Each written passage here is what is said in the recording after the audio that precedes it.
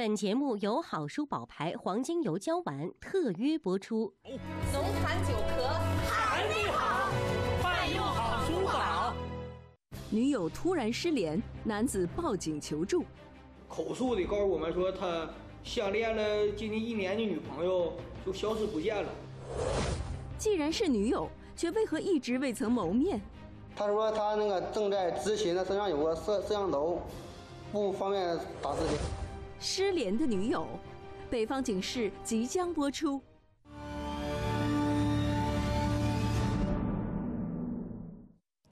有警示，有故事，这里是北方警示。观众朋友们，大家好，我是杨志。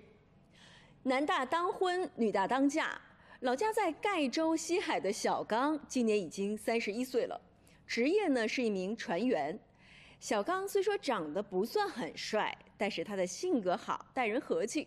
收入呢也不错，这眼看着都三十冒头了，却一直没有找到心仪的女友，父母亲戚都跟着着急。有时候幸福来的会让人感到不知所措。就在去年的四月份，小刚突然陷入爱河，对一个素未谋面的苏姓女辅警展开了猛烈的追求。两个人在网上文字传情，双方大有相见恨晚之意。而就在小刚准备与女友见面的关键时候，女友却莫名其妙的突然就失联了，这到底是咋回事呢？今年的二月十六日，小刚和堂弟小文等人急匆匆的来到盖州市公安局西海派出所。报个警，那个我女友那找不着了。好，你等一会儿，你等一会儿，进来说的来，哎。当天是二月十六号下午四点多钟，那西海村村民。宋某与其弟弟上派出所报案。小刚刚到派出所的时候，由于着急，说话有些语无伦次。你怎么回事？啊，你等一会儿得了，家属来外面等一会儿得了啊。哎，值班民警让小刚先稳定稳定情绪，仔细介绍一下事情的来龙去脉。坐坐坐坐坐。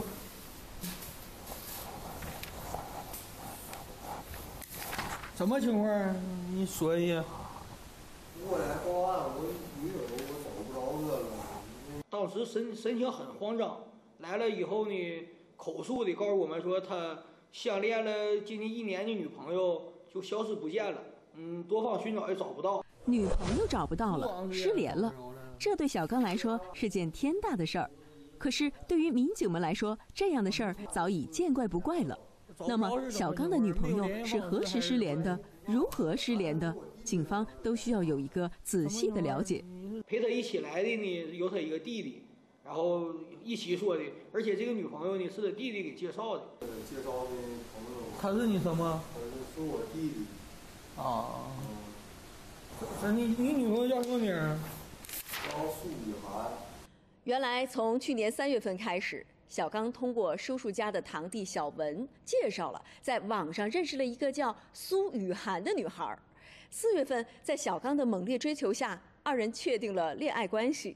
然而，就在交往了近十个月的时候，小刚的这个女友却突然不和他联系了，微信被删除，电话接不通，完全消失不见了。心急如焚的小刚去找介绍人堂弟小文。小文也联系不上这个叫苏雨涵的女孩，女友是辅警，会不会遭到坏人的报复啊？小刚满脑子都是影视剧中的各种片段，他越想越怕，于是就约了堂弟小文等人一起来到派出所报了案。提起小刚的这段感情经历，还得从他准备办理驾照说起。去年的三月份，就是我去我奶奶家，跟我奶说。就是我今年打算挣到钱了，我打算办个驾驶证。嗯，等我叔叔，等我叔叔家弟弟就去我奶家了。我奶跟我这个叔叔家弟弟说了。小刚的堂弟小文听到这个消息后，主动联系了堂哥小刚，称办驾照这事儿他可以帮忙。我哥，你想办驾驶证？嗯，我这边有有有那个认识认认识人，他是在交他在交通局上班，他他能找人给你办。小刚一听这话，赶紧委托自己的堂弟小文替他安排此事。他就通过这个交通局这个女孩问，他说这个女孩就跟他说，你得先交五百元押金，然后过年回来直接就可以考。见事情的进展这么顺利，小刚觉得堂弟小文办事儿挺靠谱。他二话没说，马上就拿出来五百元钱，准备交给堂弟小文。我我说我是转给你，还是转给这个这个这个丫头？他说你我这样吧，我给你拉个群里面，你跟你你你你跟这个这个丫头说，就把我拉进拉拉进我们仨就是他俩建个群，然后就把我拉进这个群里了。我就往这个群里转了五百块钱。一开始，小刚在三个人建的群里转了五百块钱，这个名叫苏雨涵的女孩把钱收了。几天后，小刚的堂弟小文跟他说，办驾驶证总共需要三千五百元，把剩下的钱也给他吧。小刚想，既然是自己弟弟介绍的朋友，办事儿肯定差不了，于是他就把余下的三千元发到了三人建的群里。一来二去，小刚通过弟弟小文的牵线搭桥，他和这个女孩通过微信聊天也逐渐熟络了起来。私下里，堂弟小文告诉哥哥小刚，这个女孩还没有男朋友，你也老大不小了，不如趁此机会追求一下这个女孩。听堂弟小文这么一说，小刚也上了心。平时有事儿没事儿就主动跟人家搭话，一来二去，两个人互相有了好感，最后。正式确定了恋爱关系。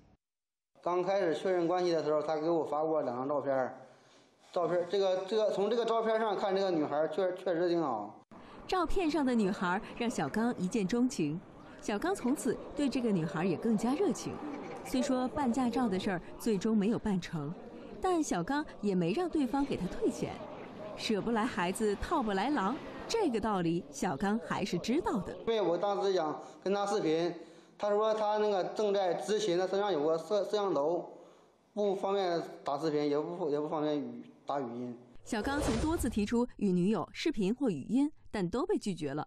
那么既然语音、视频对方都不方便，小刚便提出跟女孩见个面。然而这个心愿直到女孩失联，他也没能实现。就一直想见这个女，这女就是不肯见，就是老老以各种有事儿的情况下就是躲着。不语音聊天，不视频，也不见面，时间久了，小刚渐渐起了疑心，这个女友该不会是个骗子吧？问我问问问问我弟弟嘛，我就问问我弟，这个这个这个这个女的，到到底你是怎么认识的？跟你是什么关系？他就开始说，这个这个这这个女的家我也知道在哪住，这个女的是是我对象莹莹一个闺好闺蜜，她俩她俩住她俩住对门。听堂弟小文这么一说，小刚心里的一块石头落了地。既然女孩的家庭住址和社会关系都有据可查，也就不怕她会骗自己。这么长时间不见面，可能女孩还是有什么顾虑。八月八月十五左右，这个这个这个这个女的就说一会儿有个有个有有一个人加你，我说是谁？他说加你你就知道了。微信刚加完不久，小刚就接到了一条消息，他定睛一看。好家伙，这个新加的好友居然是准岳父。然后我，然后就就开始我跟这个叔开始开开开始聊天。他说我我姑娘啊，就是从小娇从小娇生娇生惯养。他说你有你俩在一起了，你多照顾照顾她。事有蹊跷，失联的女友为何查无此人？总共有六个人，最大的一个才十七岁。深入调查，幕后操手竟然是他。自己虚构了一个苏雨涵的人物和他哥恋爱。失联的女友，北方警示正在播出。生命中的每一个点滴都蕴藏着用心成就的美好生活。二十七年，我们因健康而生。对于伊利，每一滴好羊奶都带有生命的温度。荷兰黄金产奶带，多重配方，伊利科学实验室验证。从牧场到家庭，从中国到海外，伊利羊奶粉用更高品质来呵护您全家的健康。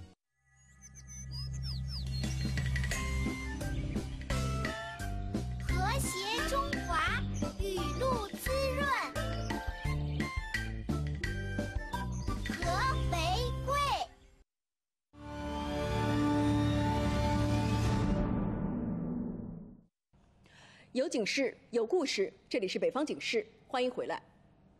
刚开始，小刚对这个女孩起过疑心，后来他仔细一琢磨，这个女朋友是堂弟介绍的，又是堂弟女朋友的好闺蜜，再有，他还加了准岳父的微信。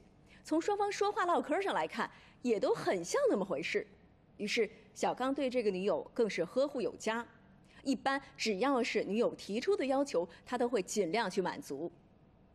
我和同事一起逛街呢，看好一件衣服，挺贵的，没舍得买。多少钱呢？我给你。这两天手机总是卡，手机用了两年多，想要换一个新的。换吧，我给你钱。我同事办了一张瑜伽卡，我也想办，还没开工资呢。我给你转钱。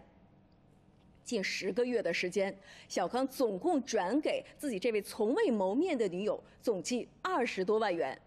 然而，从二零二二年二月十日开始，小康再发微信给女友时，却总也得不到回复，最后还被拉黑了。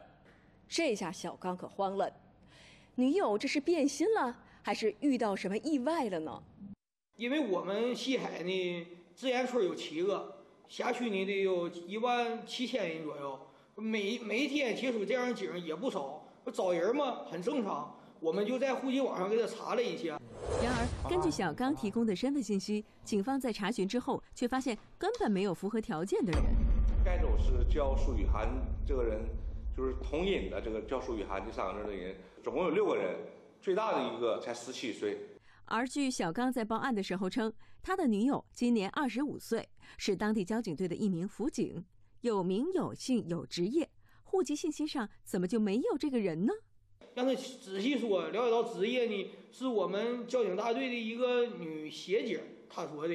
我们又问了一下交警大队，交警大队呢也跟我们说是近几年来就一直没有叫这个人名的人存在。此时小刚有点发懵了，既然这个女孩是堂弟介绍的，那堂弟小文总该对她知根知底吧？可就在警方准备对小刚的堂弟小文进行询问的时候，却发现了他的异常表现。当时表弟在询问的过程中有些坐不住了，就称家里面有事儿就要走，当时就把他表弟拦住了。那怎么回事？没没有哎，来来来来来哎，小伙儿哎哎哎，没让你走哎哎哎，你回来了，我让我让他走，我让你走了吗？来。就说你在中间，在案件案案件中起到重要作用，你不不可以走，你必须配合公安机关调查。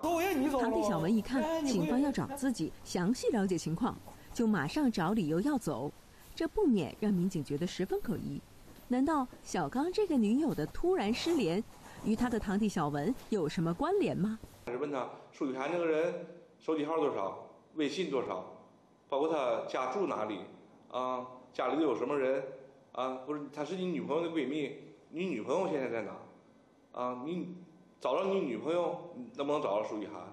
面对公安机关的询问，小刚的堂弟小文回答的是前言不搭后语，漏洞百出。基本上就是说自己把自己回答过的问题，就是我们再次询问的情况下，自己都忘了上次是怎么回答的。很快，小文再也无法自圆其说，只能交代了整个事件的来龙去脉。根本就没有苏雨涵这个人的存在，是他自己虚构了一个苏雨涵的人物和他哥恋爱。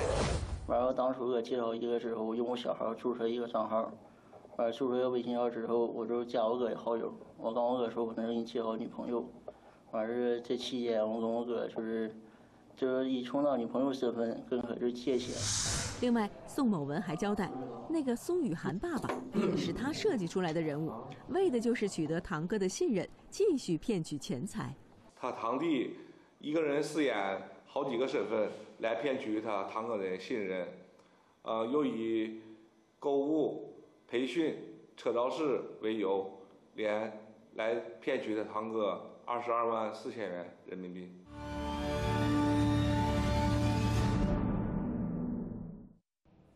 俗话说：“千防万防，家贼难防。”骗钱的主意打到了自家堂哥的身上。我们对小刚的遭遇深表同情。被害人小刚感慨地说：“我父亲和他父亲是亲兄弟，我也一直拿他当亲弟弟看。他是真把我当堂哥耍呀。”或许嫌疑人宋某文刚开始是真想戏弄一下自己这位实诚的堂哥，但是演着演着他就假戏真做，越骗越多，越陷越深。事情的性质也发生了本质的变化，玩笑变成了诈骗。